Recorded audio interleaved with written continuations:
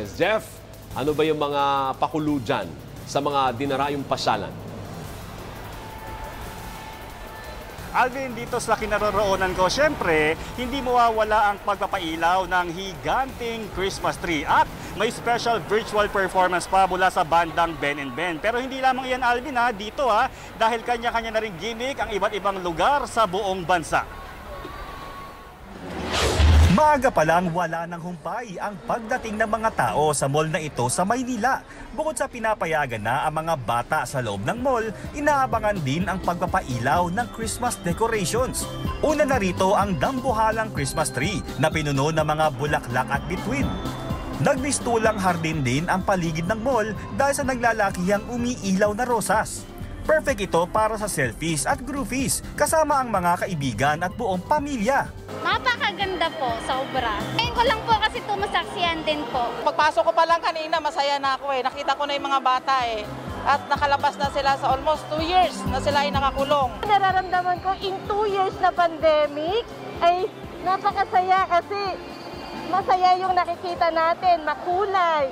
I am happy po because it is my first time going outside and seeing that the tree here in Christmas.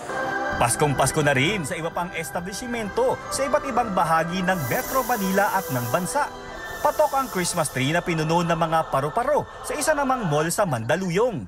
Mala Enchanted Christmas with dancing ballerinas naman ang paandar ng isang mall sa Antipolo. Sa Lipa City, Batangas, pinailawan na ang makulay na Christmas decoration sa isang park nitong biyernes. Marami rin ang natuwa nang makita si Batangas Representative Vilma Santos Recto.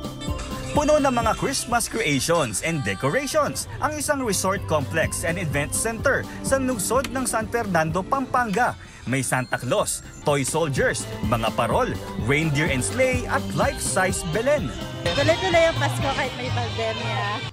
May Christmas tree na yari sa kapis, may tunnel and dome of lights at white Christmas corner na may mini LED fireplace.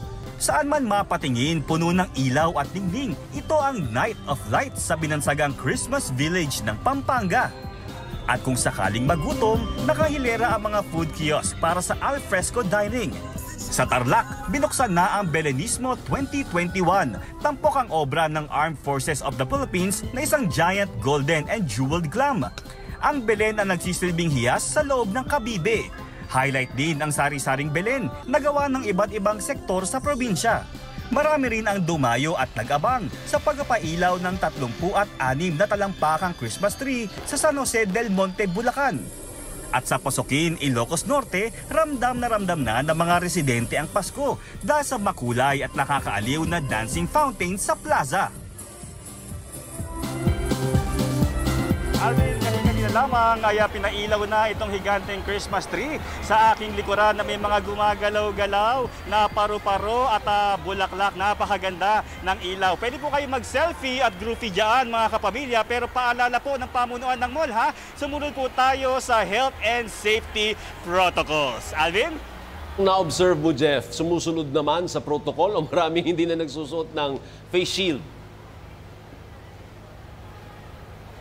Dito, Alvin, sa aming kinalalagyan, eh, marami nagdagdag sila ng mga COVID marshals Oh, sa oh. kanilang tinatawag. Oh, sa video pa Kanina lang, may, oh. may, merong mga hindi nakasuot ng uh, face shield at uh, face mask at sila ay uh, pinagsasabihan naman na isuot ito. At kanina dahil medyo malaki itong event dito, nagkadikit-dikit yung mga tao pero Concert sinaway naman. din naman sila agad, Alvin.